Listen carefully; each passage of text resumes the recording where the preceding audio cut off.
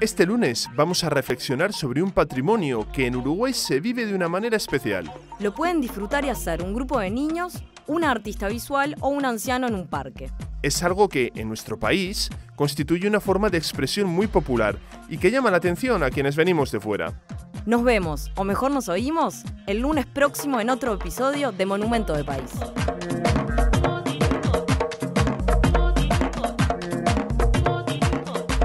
Thank you.